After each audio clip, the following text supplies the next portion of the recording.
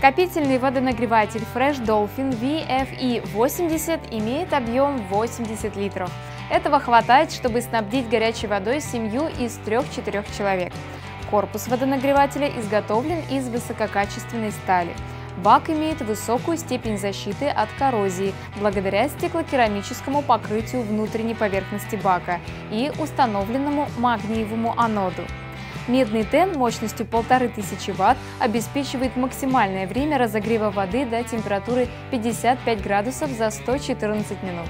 На декоративной крышке водонагревателя Fresh Dolphin VFE80 имеется ручка регулятора, позволяющая устанавливать температуру нагрева воды от 45 до 75 градусов и световой индикатор включения.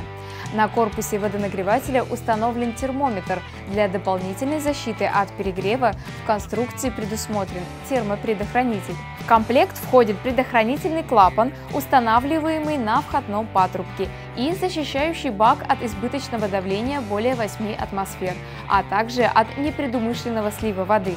Гарантия на водонагреватель Fresh Dolphin VFE80 3 года.